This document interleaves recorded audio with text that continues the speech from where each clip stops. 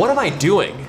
And I'll finally get to sleep. I did it for a few months, and I didn't notice as big of a difference as I would have liked. I tried Dr. Andrew Huberman's sleep tips and tricks for one month, and here's what I learned. Some of it worked, some of it didn't. And before we dive in, a few things about me and my sleep issues. I've had sleep onset insomnia since I was a kid, and I cared a lot about sleep. I really obsessed about it. I say in med school and in residency, and that's because you're not sleeping that much, you're working a lot of hours. And we even made some videos on the Med School Insiders channel that were very popular that kind of distilled everything that I learned. But then I learned more from Dr. Andrew Huberman, so I put that to the test. And I tried his routines as closely as possible for a month. Here's what I learned. So number one, the importance of body temperature. I think a lot of us have known for a while that you wanna cool your body before sleep, but I didn't know that you need to also warm your body after you wake up. And this really helps dial in your circadian rhythm, right? So cool one to three degrees Fahrenheit before bed, and warm one to three degrees Fahrenheit after you wake up.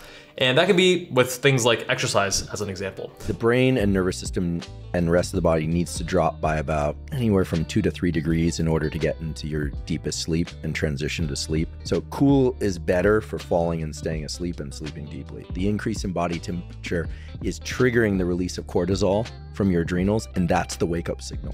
Before bed, cooling down your body, cooling down your room is gonna be very beneficial. It might cost a few extra dollars in AC, but it's probably worth it for your sleep quality.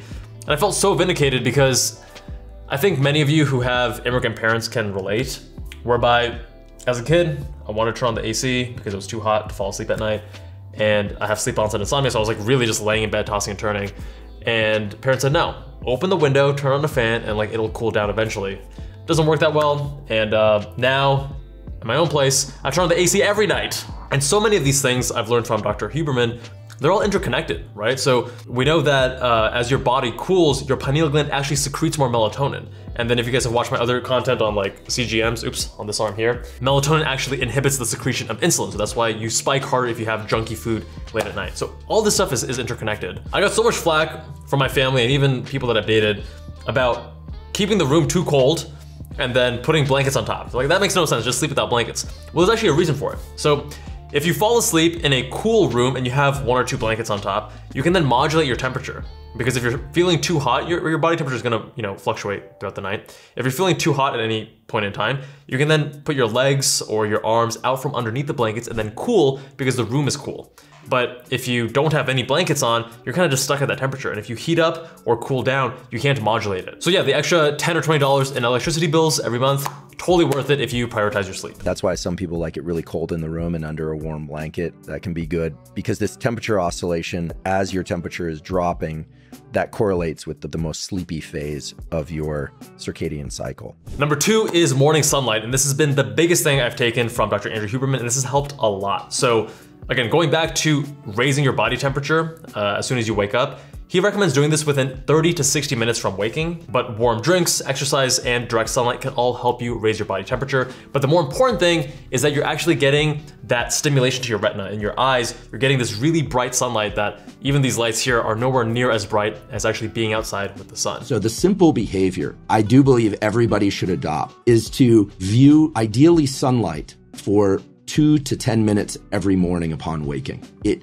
triggers the timed release of cortisol into your system, which acts as a wake up signal and will promote wakefulness and the ability to focus throughout the day. It also starts a timer for the onset of melatonin. So by viewing light first thing in the day, you set in motion these two timers, one for wakefulness that starts immediately and one for sleepiness that starts later. Now this bright early morning sunlight exposure is critical not only for your focus and alertness and feeling woken up, but more importantly, at least for me, is being able to fall asleep that night. Because what would happen is I'd be tossing and turning and I wouldn't be able to fall asleep when I wanted to fall asleep. And getting that early morning sun exposure, that helps set your circadian rhythm so that your body knows, okay, in 16 hours from now, then we're gonna wind down and go to sleep. I do this most days when I'm at home, but when I'm traveling, honestly, I'm not very good at it, something I should work on. And I used to go outside and journal, but I haven't been journaling much. So now I do these like Indian club shoulder exercises because you wanna be out there for like five minutes on a bright day and around 10 minutes on a cloudy day.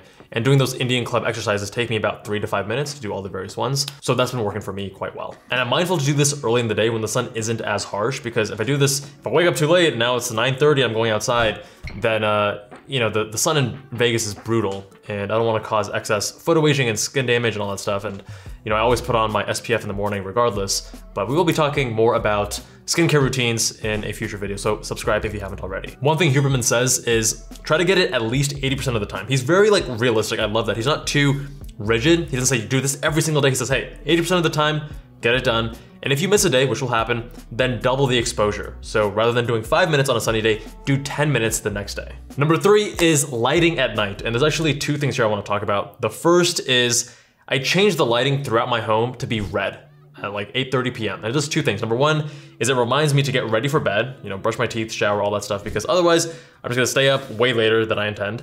And then number two is red light is much better for your viewing at night because it doesn't disrupt your circadian rhythm. Because remember, we want to avoid bright blue light and dim red light is essentially the opposite. It doesn't stimulate your eyes in the same way and disrupt your circadian rhythm. Now I started doing this in like 2014 or 2015 when I got Philips Hue as a gift and I've since expanded and I have Philips Hue throughout my whole home. And I tried to minimize turning on any bright lights during this time because again, for me, my big issue is falling asleep. Now this lighting is important leading up to bed because it's going to disrupt your ability to fall asleep. That's what they say, avoid TV and other backlit devices, even your phone, right? Too bright with that blue light. But even in the middle of the night, if you need to go use the restroom, then having that dim red light is gonna allow you to fall back asleep and not be overly stimulated.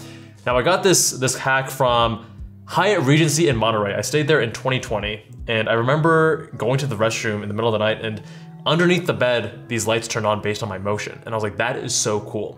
So I bought these $20 Philips Hue sensors and also light strips. I put those underneath my bed. It's like programmed with some logic that says, hey, if all the lights are off and it's after like 9 p.m. or something, then for one or two minutes, there will be a very dim light that turns on, just enough for me to be able to walk to the restroom without hitting things, but not so bright that it actually wakes me up. And that brings me to the second point, which is actually the vertical positioning of the light matters too. So having that light lower, like on the bottom of my bed, or even just in outlets on the wall, having motion detecting night lights that are, you know, like five bucks on Amazon, those are actually better because the way your retina works is things that are lower in your visual field hit the top of your retina, and things that are higher in your visual field hit the bottom of your retina. So in the later parts of the day, you essentially want to minimize the amount of stimulation to the lower part of the retina, because that is essentially sensing light from above. So think of like evolutionary times. Essentially, you're getting light from the sun, right? And that's gonna hit the bottom of your retina. That tells you to be awake and alert. You wanna get more of the light to the top of your retina, which means light that is low on the ground. Things like a campfire, again, prehistoric times. So previously I was focusing so much more on the brightness and the color of the light, but now I'm also focusing on the actual positioning of the light vertically in space. And I also have a lot of night lights throughout the home that are motion based, so I don't have to turn on the overhead lights. The other cool thing that has encouraged me to watch more sunsets, because I love sunsets, is that actually seeing the sunset and have that low solar angle it helps you in setting your circadian rhythm and helping you wind down for later that evening. Now, even though you need so much bright light in the morning to stimulate alertness and to set your circadian rhythm, you need very little to actually disrupt things in the evening. It's kind of messed up. It's kind of annoying how that works, but this has been so critical and so impactful for my own sleep with sleep onset insomnia. Number four, scheduling your day. This is one where I've taken so many small tidbits from Huberman and implemented them in my life, but they're hard to stick with. And I find myself oftentimes messing things up and like as an example, after this, I'm gonna go to the gym really late at night, and then I'm gonna come home and sleep, which is not ideal. You wanna separate your exercise from your sleep by several hours because now I'm gonna be super stimulated after my workout, and it's gonna be harder for me to fall asleep. But let's start from the beginning of the day. So Huberman recommends waiting 90 to 120 minutes after you wake up before you consume caffeine because you want to clear more of that adenosine. Because remember, caffeine is a competitive inhibitor of adenosine receptors, and your body is still clearing it in the morning. So by avoiding caffeine for the first 90 to 120 minutes, you're actually reducing the likelihood of having an afternoon crash. Now here's one thing I found counterintuitive, which is that on days where you lack sleep, Huberman recommends the next day do not rely too heavily on caffeine. Instead, focus on other forms of deep relaxation like NSDR or napping. The problem for me though is that I tried that and even with, with like a short power nap, it messes with my sleep debt, meaning that that night, it's harder for me to fall asleep if I take a nap earlier in the day.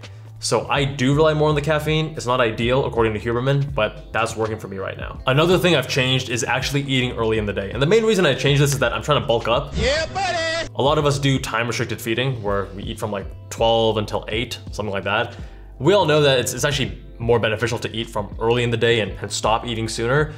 But most people, myself included, we tend to eat from the afternoon, early afternoon, until the early evening because of social reasons, right? A lot of us socialize over dinner, and it's a lot easier to say, hey, let me just eat from 12 to 8 rather than say I'm gonna eat from 8 a.m. to 4 p.m. But eating earlier in the day actually helps with your circadian rhythm, which is awesome because it increases your body temperature and it also helps increase your metabolism. Now, when it comes to exercise, like I said, you don't wanna exercise within like three or four hours of going to bed. He actually recommends waking up and exercising immediately or waiting three hours or 11 hours. Those are the optimal times to actually exercise. Number five is gonna be the supplements for sleep. And Huberman has three big ones that he's very well known for. One is apigenin, one is L-theanine, and the other is magnesium L-threonate. Now I took these at his recommended doses, 50 mgs for apigenin, 100 to 400 milligrams of L-theanine. I did 200 and magnesium L-threonate of 145 milligrams. He says start there and then you can also modulate based on your needs.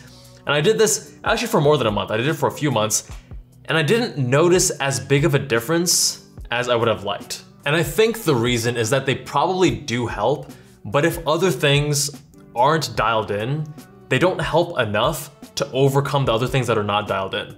So if I'm not getting that morning sunlight exposure, or if I'm not avoiding exercise three to four hours before bed, or if I'm not being consistent with my wake and sleep time, that's actually the biggest thing. That's the hardest, but the most impactful thing is falling asleep and waking up at consistent times and avoiding staying up four hours later on the weekend and waking up, you know, sleeping in as well on the weekend.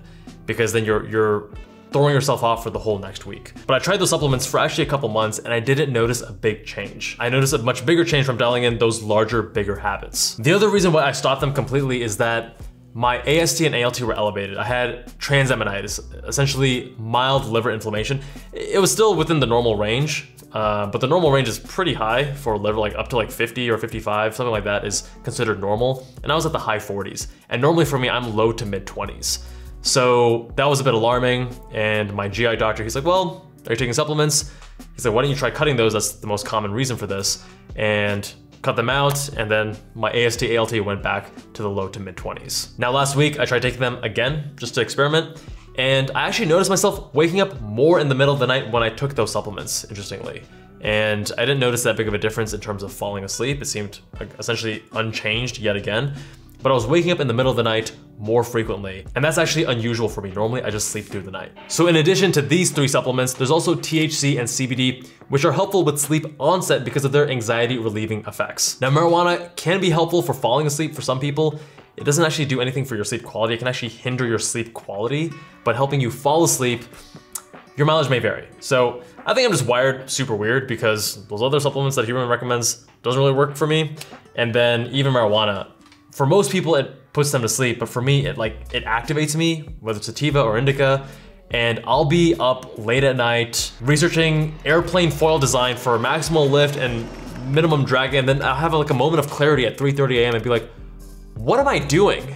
And I'll finally get to sleep, realizing it's not a good use of my time. So yeah, I've tried THC, CBD for sleep, doesn't work for me. Speaking of being weird and having a unique makeup, I want to tell you about today's sponsor, Inside Tracker. Everyone has a different biological makeup, so the strategies and the supplements that work for one person may not work for another. Look at me and these sleep supplements as an example. As you guys know, I'm super passionate about taking a data-oriented approach to my health and well-being, and I'm super excited to partner with Inside Tracker, who are at the forefront of data-driven wellness. To truly understand what is happening inside your body, you need to look at your own data. Inside Tracker uses a combination of data from your blood, DNA, and habits to create a snapshot of your health. So I'm weird, and I have this lab test tracker that I manually created and update on Google Spreadsheets. And it has all the labs from all my doctors and various uh, facilities over the years. This is very helpful to then trend data over time, right? I did this before Inside Tracker was a thing. And with Inside Tracker, you don't have to do this painstaking process because they actually track those things for you and give you your, your trends over time and they give you recommendations. So especially if you're not a medical professional and you're not trained in deciphering what some of these labs may mean, Inside Tracker is super useful. So the first thing here on my dashboard, it tells me my inner age. So I'm 32 years old, almost 33, and it says my inner age based on my various markers is 25.7. So I'm getting some encouragement here saying, hey, my behaviors and my labs are looking good for the most part. And then they have my biomarkers here. Most things are really good. Some things need improvement and I'm at risk in three of those biomarkers. So I can scroll through, and then as a guy, a lot of us care about testosterone, I can then click in and it'll tell me more about what this test means, and I can compare myself to other people in my age range and it gives me actionable advice as well. The cool thing is that they'll actually send someone straight to your home to actually do the blood draw, which is incredibly convenient. And I wish I knew about Inside Tracker sooner because what I did is I pay an arm and a leg for a concierge physician here in Las Vegas to then get these labs drawn because I want my labs drawn at a more regular interval and at a higher frequency than what most non-concierge doctors are comfortable doing. But with Inside Tracker, it's a whole lot more convenient they give you this great dashboard that allows you to trend your data, so you don't have to create your own Google spreadsheet, and it also has some actionable tips for you. And arguably, most importantly, it's not nearly as expensive as going some alternate routes. Click the link in the description to learn more about Inside Tracker, and by doing so, you're helping support the channel. Thank you. And finally, number six, time zone changes and late nights. As much as we wanna be super consistent and regimented with our sleep, that's just not reality. Life doesn't work that way. So every December, I go duck hunting with one of my old med school buddies, and we have to wake up at like 4 or 5 a.m. And after that, my sleep is always dialed in, and it happens every year. So even this year, like from December up until maybe April, I was sleeping at 10, maybe 11 p.m. most nights and waking up at like 6 or 7 a.m. Felt great, it was awesome. Then I went on a trip, had a few late nights, and that threw things out of whack. And then more recently, I had a, a nasty ear infection. And same thing, like just a few nights of bad sleep can throw me completely off and it's so hard for me to get back on track. So a few things that I've learned. Number one is that you know, naps work for some people, they just don't work for me. And I know that Huberman loves NSDR and it might work for you, definitely try it out. For me, it doesn't work. So if I nap, I am not falling asleep that night. And even if it's a short nap, even if it's a power nap, like a 13, 15 minute nap, um, that used to work for me. And I made videos on the Medical School Insiders channel about how to nap most effectively. Those used to work for me because I was always sleep deprived. So even if you nap for 15 minutes and you're sleep deprived, it's okay because you're still gonna be tired at night because you only got like five hours the night before. But nowadays, I'm prioritizing sleep, so I sleep seven, eight hours most nights, not every night, and therefore a nap is more disruptive. Now, the tricky thing here is that I'll feel super tired if I didn't sleep well the night before. And I'll be, like, oh, you know, let me just get my laptop, let me go and sit on the couch, do some work. That's dangerous. Don't do that because next thing you know, you're falling asleep and then you take a 30 minute nap and now you're messed for the whole night.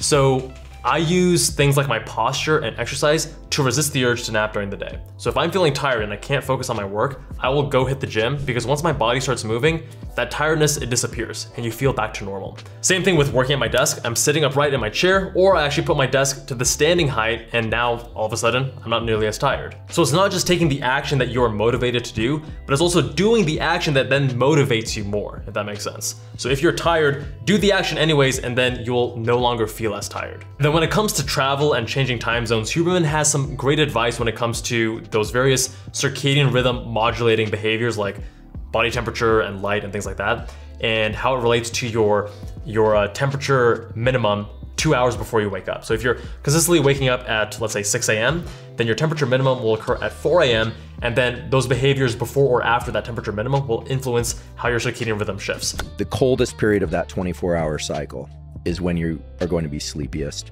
There's actually a period within that 24 hour cycle. It's a, it's a time point called your temperature minimum. And your temperature minimum tends to be about two hours before your typical wake up time. Now, I am gonna be trying this when I travel to India early next year, but what I will say has worked for me very well in the past is that since falling asleep is more of my issue, but staying up longer is usually not an issue, what I have always done is I just kind of suck it up for a day or two and I just force myself to stay up as long as possible until I can fall asleep at a reasonable hour in that new time zone. And then within a day, I'm like, I'm good. When I was younger, I thought that me and my family, that we were forever just night owls. And all of us stayed up super late and would wake up pretty late. Or we would force ourselves to wake up early and just not sleep that much the, the night before. And it wasn't until med school that I challenged that identity because I needed to wake up at like 3 a.m. for certain rotations and I would then fall asleep at 8 or 9 p.m. And it wasn't easy initially, but then once I got adjusted to it, I realized that I'm not actually a night owl. It's just that because of TV, because of various habits, because of light exposure, bright lights late at night, it became easier and easier to just stay up late. But challenge your identities. Don't think that you're fixed in a certain way because I found it actually enjoyable to sleep early and wake up early, and I was so productive and waking up at 3 a.m By the time most people were starting their days, I had already accomplished so much and it felt so good. So if you think that you're doomed and that you're forever gonna have a terrible relationship with sleep, then I urge you to challenge that belief and check out this video up here called How to Wake Up Early and Not Be Miserable. It's the key insights I learned that have helped me so much over the years, and I hope you find it equally useful. Much love, my friends. See you there.